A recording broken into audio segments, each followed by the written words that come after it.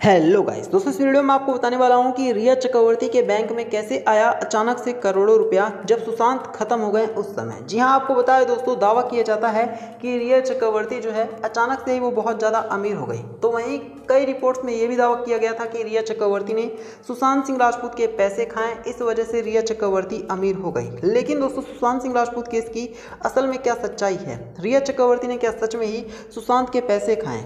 अब मैं आपको पूरी जानकारी बताता हूँ। दरअसल देखिए, आपको बता दें कि जब सुशांत इस दुनिया को छोड़कर जाते हैं तो तीन जाँच एजेंसियाँ ईडी सीबीआई और एनसीबी तीनों ही आती हैं और सुशांत केस में हर एंगल से जाँच करने की कोशिश करती हैं, जिसमें जो ईडी की टीम है, वो सुशांत के पैसों की तहकीकात कर रही थी और ईडी की टीम ने रिया चक्रवर्ती के बैंक को खंगालना शुरू कर दिया, क्योंकि सबको शक था कि सुशांत के खाते से बहुत सारे पैसे गायब हुए हैं और इसके अलावा रिया चक्रवर्ती को बहुत सारे पैसे मिले हैं।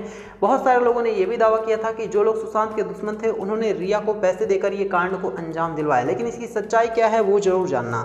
ईडी की टीम ने जब सारे रिया चक्रवर्ती के बैंक अकाउंट को खंगालना शुरू किया। तो पता चलता है कि रिया चक्रवर्ती के बैंक अकाउंट में किसी भी तरह से कोई पैसे नहीं डाले गए हैं। लेकिन सवाल ये था कि सुशांत के पैसे फिर गायब कैसे हो रहे थे? क्योंकि सुशांत के बैंक अकाउंट से बहुत बड़ी अमाउंट गायब थी। अब ऐसे में आपको बता दें ईडी ने जब जाँच करना शुरू किया तो पता चला कि रिया चक्रवर्ती के ऊपर ही ये पैसे खर्च हुए थे। सुशांत सिंह राजपूत रिया चक्रवर्ती को शायद शॉपिंग कराते थे, जो रिया ने बताया था। इसी वजह से सुशांत के खाते से पैसे गायब हुए। हालाँकि रिया के बैंक में पैसे नहीं मिले थे। तो यही था वीडियो। में वीडियो को लाइक करना, इसे शेयर करना और चैनल को सब्सक्राइब करना।